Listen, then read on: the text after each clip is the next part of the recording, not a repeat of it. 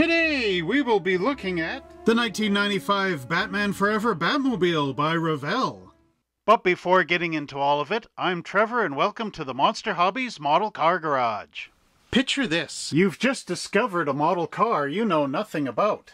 Or perhaps you've owned these model cars in the past and you're just here to reminisce. Either way, we feature classic plastic, television and movie cars, domestic kits, imports, new releases, and model kits made by companies lost to time.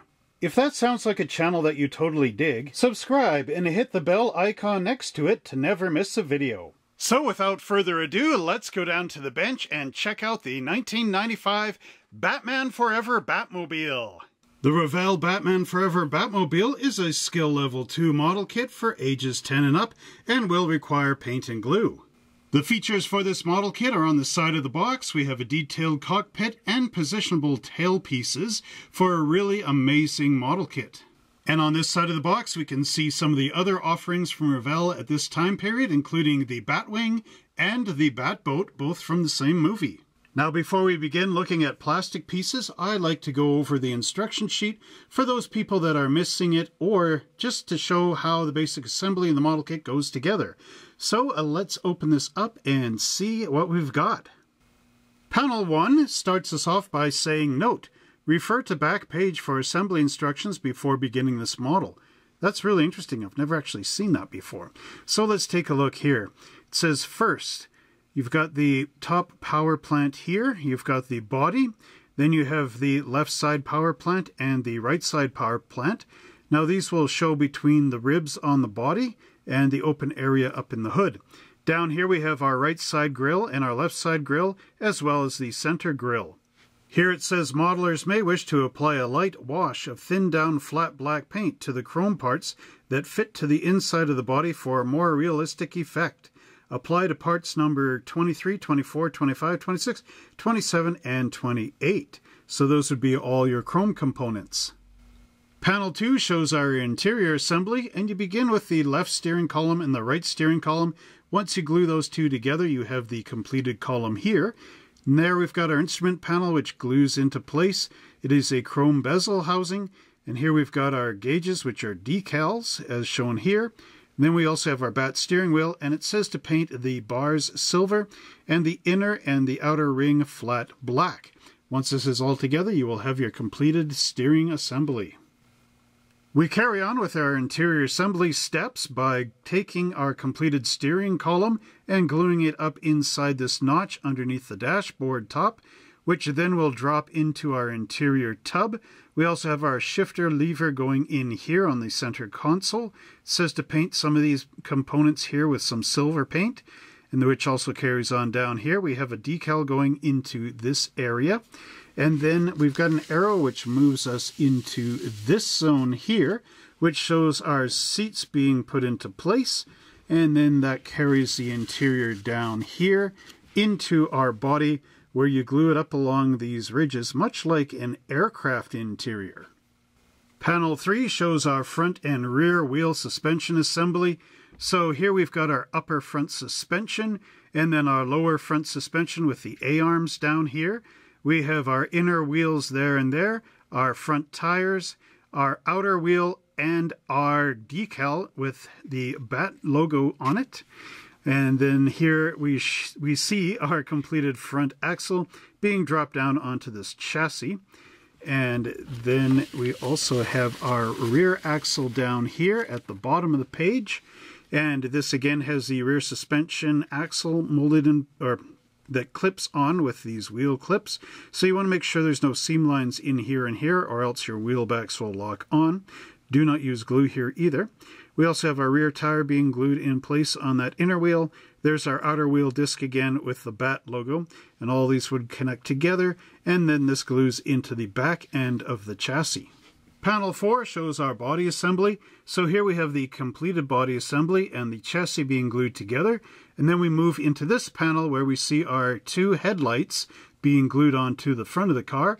So here we have our reflector as well as the headlight bezel and the lens. So you do this twice and then put them in place. Panel 5 shows our front fender assembly. So here we have our front fender support being attached to the body. And then we have the two-piece fenders. So we've got our left outer fender and our left inner fender, as well as the right outer and right inner. And then they will attach to the completed body just like this. Panel 6 shows our body rear assembly. Here we have the upper body panel being glued to the lower rear body panel. And then we've got our inner tailpipe, which is chromed, as well as our outer tailpipe, which we'll glue on the end here, which is also chromed. So this would be your jet exhaust right in here. And it also shows to paint inside with the gold. So that's really cool. And then down here we see our completed assembly being glued into the back of the body. And then there's this little arrow down here, which then moves us down the instruction sheet. So here we have our completed uh, assembly, getting the right rear fender mounted as well as the left rear fender mounted onto the body. Panel 7 gives us our options here. We can have the open fin assembly or the closed fin assembly.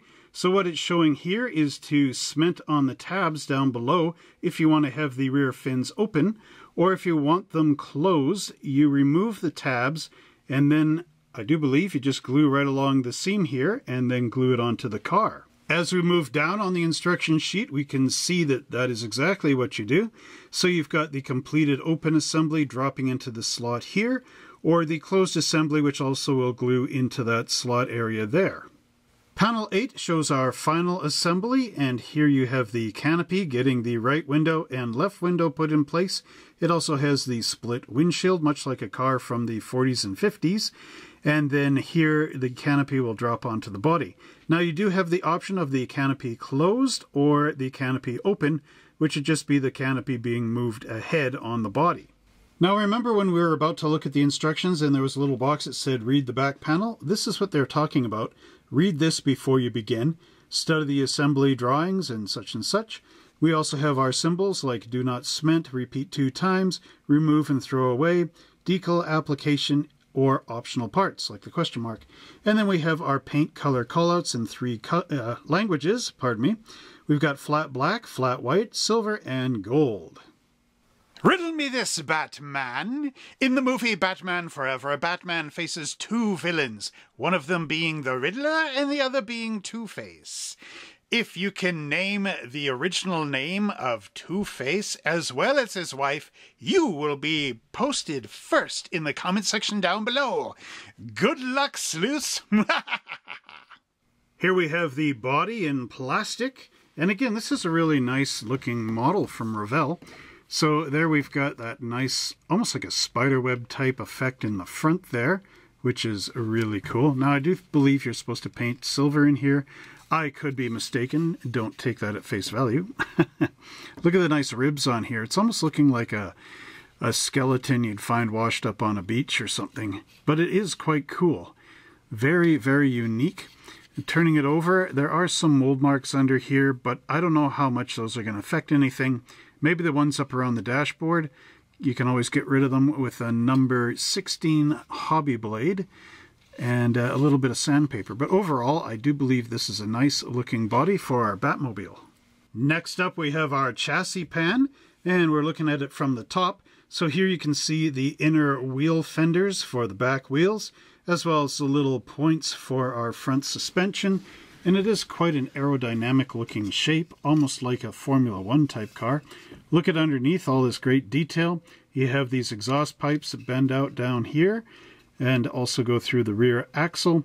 And again, really cool detail. So this would be that big jet engine or whatever's going on in there.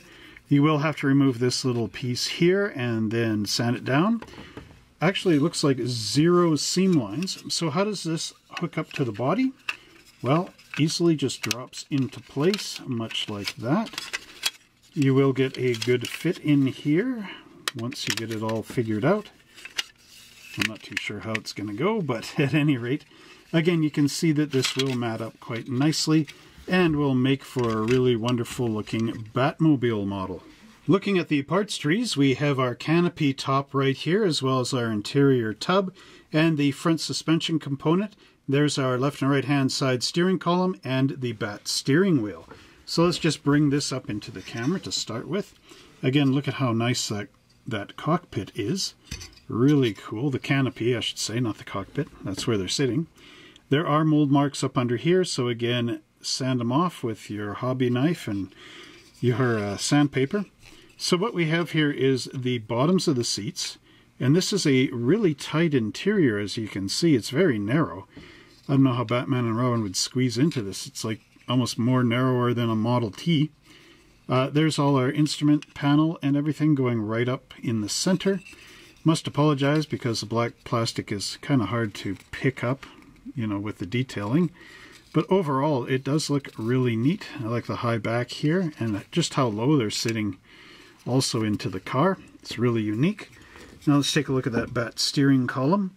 You can see the bat symbol on the steering wheel right in there as well as the details that make up the column. It almost looks like a little tiny, like a V6 engine or something, but overall pretty unique. And then there's the front A-arm assembly. It does have the Corvette type spring up front going all the way across onto those points. So again, really interesting interesting parts trees we've got going on here, which will add to the authenticity of your model. This parts tree includes that front fender support right here, as well as our two rear fenders with the bat fins. There's the top of our dashboard, and we also have our seats here, which look very much like seats from a jet, like a jet fighter, F-16 or something to that effect. Any of you guys flown one of those, you might know what I'm talking about. Then we do have some mold marks under here, of course, which we'll have to clean up. But overall, I, I still like those ribs in here. Very cool looking. And then there's our rear bat fenders. This would almost be interesting on a pickup truck from the 50s. Something super custom. And then there's that dashboard as well as the cover for our steering column, which would glue right into there. Again, a couple of those you need to remove, your little mold marks. But overall, I mean, the detail on here is quite nice. This parts tree includes body details as well as the suspension details. So starting off, we have our headlights here, the buckets, and the rear panel for our rocket to stick through, as well as the upper rear panel coming off of here. There's our inner fenders and outer fenders for the front of the car, as well as our rear suspension and our front suspension, which features rack and pinion style uh, steering. Pardon me yeah, so overall really looks nice. We have those types of clips where the wheel will only go on, go on one way, so make sure if there's any seam lines that you have that absolutely smooth in there. There's our insides of those fenders and the bottom of the rear axle. So let's just turn this over for the camera. So again, you can see the nice detailing in here. Really uh, quite a cool looking sports car type of view. We have four shock absorbers in the back just for that nice, nice uh, type of Indianapolis steering. Now turning this over, you can see again the nice detail up underneath on those A-arms. Really, really great work from Revell. This looks like it'll go together quite nice. Here's our center bat fin for the top of the car that you can build either open or closed. And the detail in here is quite nice, looks like a bat wing. We also have our wheel inners. So again, bringing this up to the camera, you can see just the nice sculpting in there. If you turn it over, you also get the great sculpting, but there are mold marks all the way up on those fins, so you will need to sand them smooth if you want this open and for it to look really, really nice. Then again, you've got the little tabs down below, which you can easily clip off if you want just the single closed fin up the center. And here's our chrome parts tree, and you can see just how amazing this is. Look at that nice detail molded in here. And again, give it a wash of flat black just to make all this stand out. There's the rear jet engine, as well as the front discs for our wheels. And again, just look at that fabulous detail on here. Simply fabulous, honey. again, really cool stuff. And this will make your Batmobile really shine. Now, looking underneath again, might be a few mold marks under there, but nothing to be too concerned about. Oh, and then right here we've got our center shift call, uh, lever. And then there's our gauges right there. So again, really excellent work from Revell. Here we have our glass components, our tires, and the decal sheet. So the glass components actually are a very light smoke tint color. You can see just how nice those windows are, that they curve around in the front. You also have your headlights here. The tires are Goodyear GT radials, which came out in the, I guess, early 80s on a lot of the Revell monogram type kits. Actually, more specifically, Revell. And then here's our decal sheet. You can see the nice bat logos, which will go inside the center caps of the wheels, as well as our gauges here. So again, really excellent stuff from Revell. Let's bring this up to the camera. Let's start with our decals.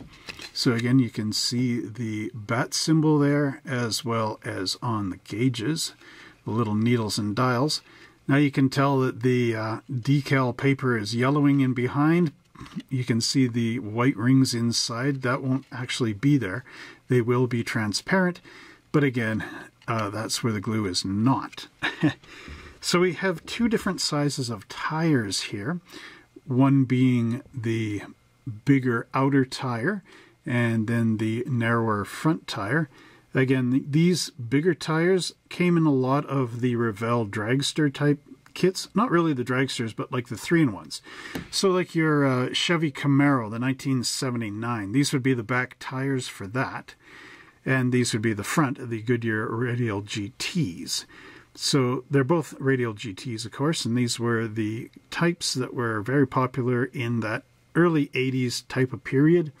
But I think these would look better with uh, Formula One style tires on here. So again, these parts are quite nice and will look make your Batmobile look really fabulous. Well, I really hope you enjoyed this video and that you can find one of these great model kits for yourself out there and build it up really, really nicely. So don't forget to like, subscribe, and share this channel with all your friends and family. And until next time, happy model building! Tune in next week, Bat fans, as we explore the Batman and Robin Batmobile model kit by Revell. Same bat time, same bat channel.